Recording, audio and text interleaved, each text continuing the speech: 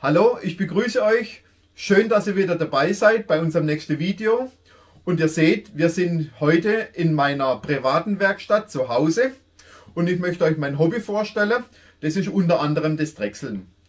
Für das heutige Projekt habe ich mir ähm, ein Windlicht ausgesucht. Und ihr wisst ja, die Windlichter, die sonst im Netz zu finden sind, sind immer äh, eingesägt, damit die Kerze Luft bekommt. Ich möchte euch heute eine andere Konstruktion vorstellen, eine unsichtbare Belüftung sozusagen. Wie man das macht, möchte ich euch äh, dann gleich zeigen.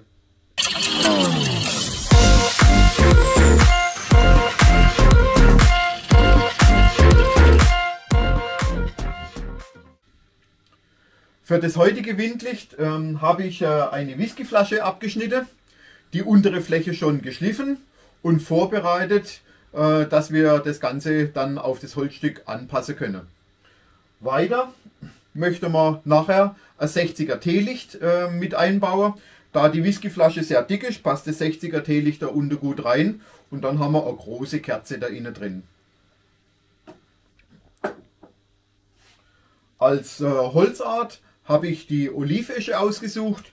Ähm, dieses Stück hat eine sehr interessante Maserung und ich denke, das kommt nachher dann ganz gut raus, wenn das geölt ist und fertig abgedreht ist.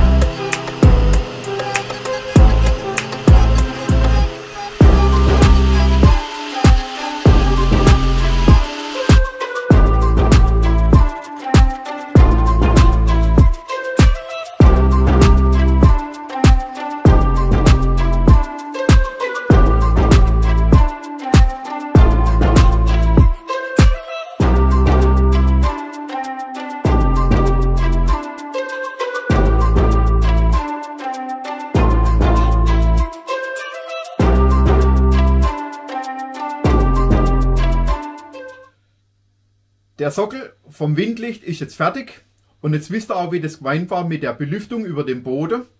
Wenn äh, unten die Luft äh, an den Füßen hier vorbeistreicht, kann die über die Bohrungen nach oben gehen. Und wenn oben die Kerze drin ist, dann haben wir ja immer hier die halben Bohrungen offen. Und dann entsteht ein schöner Sog, wo die Flamme mitnimmt und wir dann ein schönes, großes, helles Licht haben. Jetzt äh, kommt nur noch der Glasaufsatz drauf und das Windlicht wäre fertig. Ich wünsche euch nun viel Spaß beim äh, Nachdrehen. Ähm, ich würde mich freuen, ihr wärt das nächste Mal wieder dabei. Oder ihr könnt auch noch andere Videos auf meinem Kanal sehen. Bis dann sage ich Tschüss.